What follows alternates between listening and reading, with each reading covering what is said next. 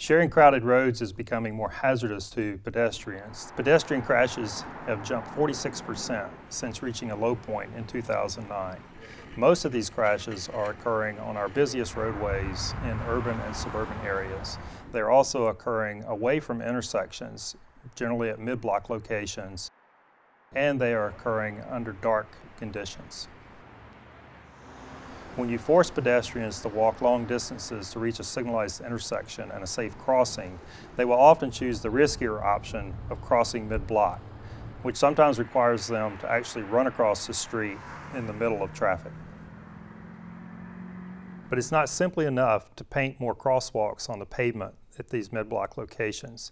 You also need to incorporate additional features such as pedestrian activated beacons, that will alert drivers that they need to stop for pedestrians, as well as crossing islands that allow pedestrians to cross one direction of travel at a time. While the story of speed limits in the past few decades has been one of rising limits, we need to reconsider that as we look at our pedestrian safety picture. We need to lower speed limits and we also need to enforce our limits. One way to do that is through the use of automated enforcement or speed cameras. This is an intervention that has been shown to reduce the number of injury crashes that we have on our highways, particularly those that are associated with speed. A large majority of our pedestrian deaths occur under dark conditions. Better roadway lighting as well as better vehicle headlights would help drivers see a pedestrian sooner and ultimately prevent those types of crashes. The track is ready, you can begin your run. Institute test of headlights have shown that they're not always up to the job of helping a driver detect an obstacle or a pedestrian in time to avoid a crash. Our ratings program, which was launched in 2016, will lead to headlights that light up the roadway better without blinding oncoming drivers.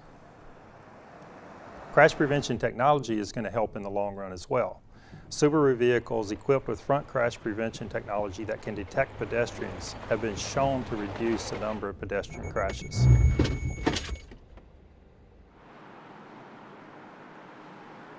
SUVs have higher and often more vertical designs than passenger cars, which results in them striking a pedestrian in the head or the chest area. Changing the front end designs of SUVs could result in lowering the risk to a pedestrian when they are struck. Improvements in road design, vehicle design, lighting, and speed limit enforcement all have a role to play to address this problem.